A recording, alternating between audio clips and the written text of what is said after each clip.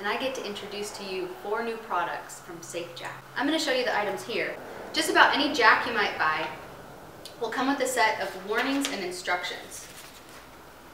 Now every one of the instructions is going to tell you that you need to chock the wheels of the vehicle before you jack it up. And at minimum you want to chock the wheel diagonal from the wheel that you're lifting. Well, if you're out on the trail or on the side of the road, where are you going to get a wheel chock? You might be lucky enough to find a rock, but that might be hard to come by. The other things the instructions will tell you to do is to avoid serious injury or death, never place yourself under the vehicle using the jack alone. You need a jack stand.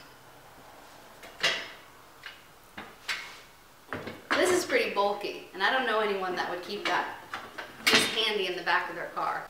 We have the solution for having everything you need in one compact package.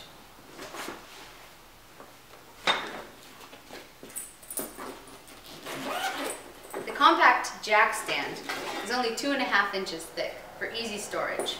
Its base is large enough to support most vehicles on soft terrain. If you have a larger vehicle, we also have a 12 by 12. Let me show you how it works.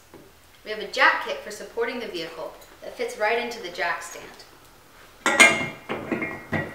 Because of this system, you can go as low as 5 inches as you need using as many extensions. There really is no practical limit to the height. Adding the jack pad to the top of the wheel stand steadies and supports the load and makes slipping far less likely. For instance, if you're lifting on your axle, a regular jack, contact point's not very big. You can easily slip off, which is dangerous. With our universal jack pad, we're positively engaged. Frame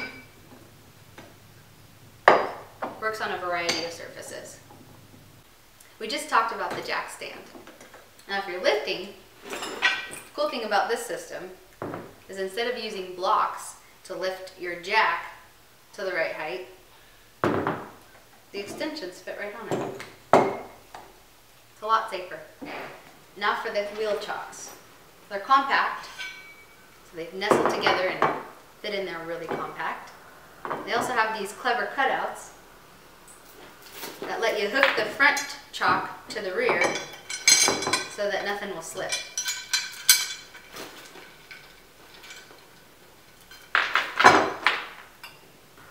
So today I showed you the compact jack stand, the extensions that fit right onto the jack, the universal jack pad, and the compact wheel chocks.